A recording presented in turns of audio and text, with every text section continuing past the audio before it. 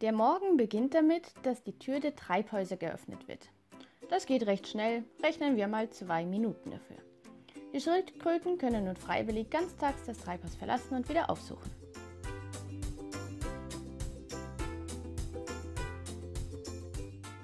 Stichprobenartig wird bei der Gelegenheit die Begrenzung überprüft, um Schwachstellen rechtzeitig zu finden und Ausbruch dadurch zu verhindern.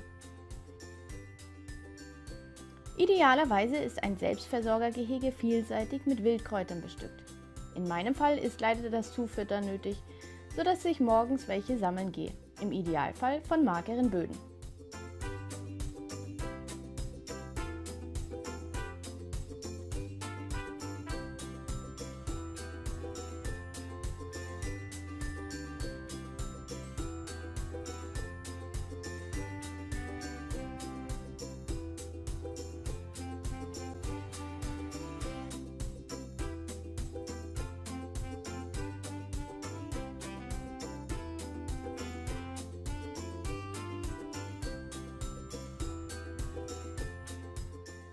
Die Wildkräuter werden im Gehege verteilt, damit die Nahrungssuche trotzdem gefördert wird.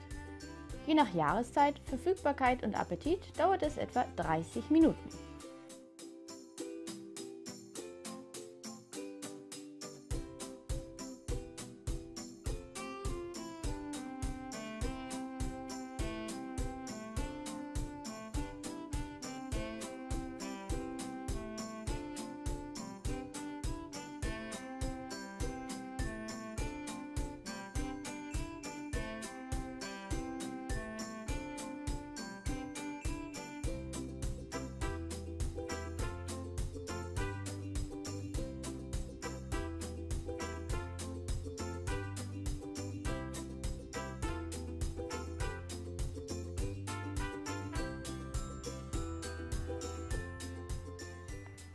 An heißen Sommertagen reicht der automatische Fensteröffner nicht aus, da muss dann zusätzlich geöffnet und beschattet werden. Das dauert nicht einmal eine Minute.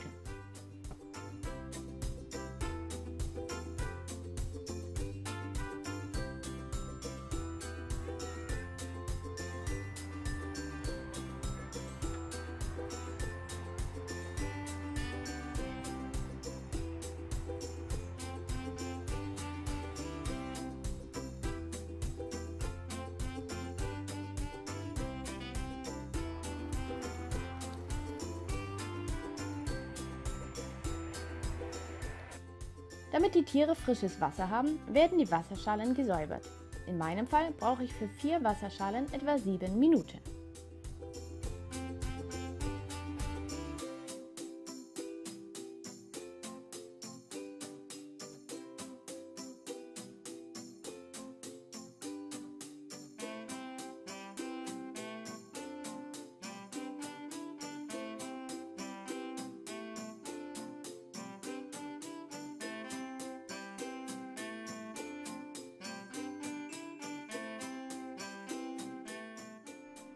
Bei der Gelegenheit wird das Treibhaus gleich mitbewässert. Je nach Saison kann dies schon mal 20 Minuten in Anspruch nehmen.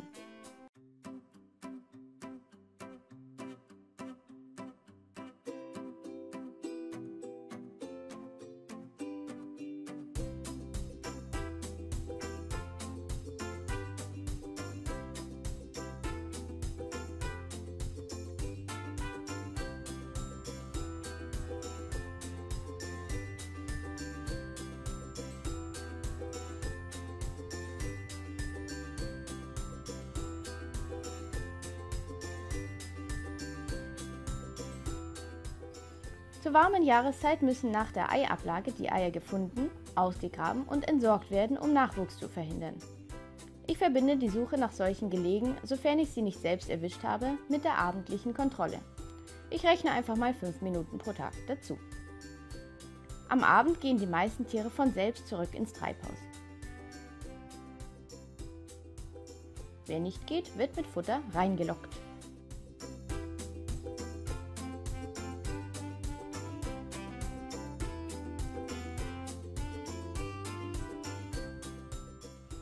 Fehlt noch jemand, dann muss gesucht werden. Zum Schutz vor Feinden und zur richtigen Temperierung werden somit auch die letzten Tiere ins Treibhaus gebracht.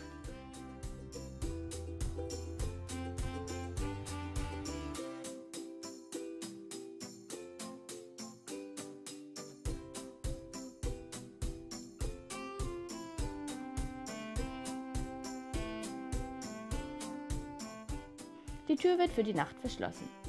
Je nach Jahreszeit dauert dies etwa 10 Minuten. Pro Tag benötige ich für meine Tiere daher etwas mehr als eine Stunde Arbeitsaufwand für zwei Gehege.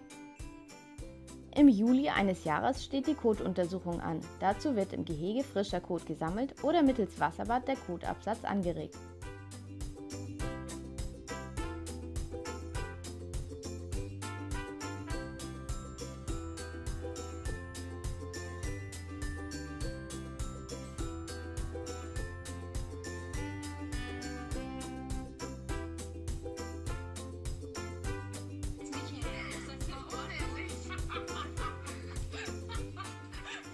Der Code wird dann eingeschickt oder beim Tierarzt abgegeben. Je nach Befund muss entwurmt werden. Zeitaufwand insgesamt ca. 30 Minuten pro Jahr.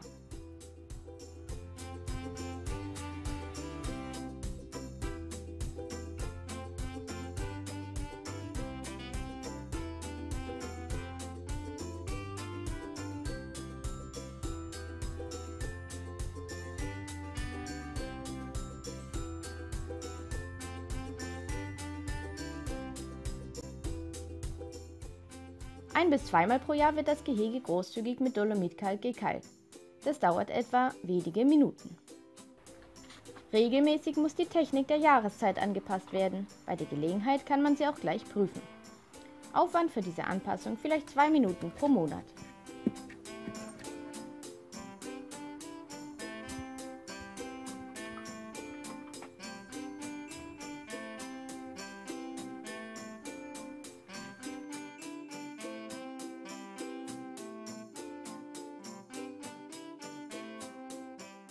Im Herbst wird Laub gesammelt und die Überwinterungsgrube damit befüllt. Aufwand ca. 20 Minuten pro Jahr.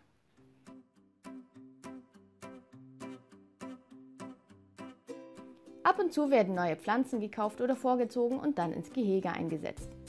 Aufwand pro Jahr liegt bei vielleicht 15 Minuten.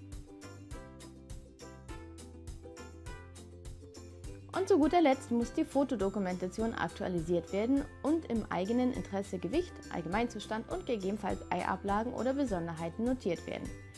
Je jünger die Tiere, desto kürzer die Abstände.